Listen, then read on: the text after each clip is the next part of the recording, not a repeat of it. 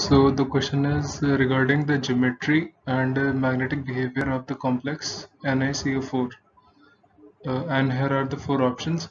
So uh, NiCO4 where the configuration of Ni uh, is uh, argon 3d3 and 4s2 and since CO is a strong ligand then uh, the electronic configuration of uh, Ni28 would be this where 4 CO are attached in the outermost orbits uh, which makes the configuration uh, to be sp3 hybridized.